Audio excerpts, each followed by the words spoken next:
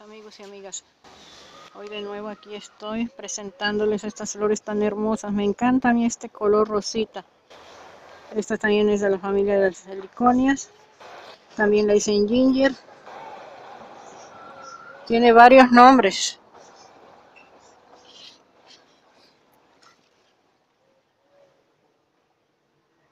Ah, es que ya no me acuerdo de los otros nombres. Estoy hablando de los nombres que me acuerdo Miren, son muchas flores las que tiene. Ya tiene otra. ¿Y cómo son sus hojas? Están muy hermosas. ¿Y cómo es el botón cuando va abriendo? Miren, se ve chiquito. Estas plantas están entre sol y sombra.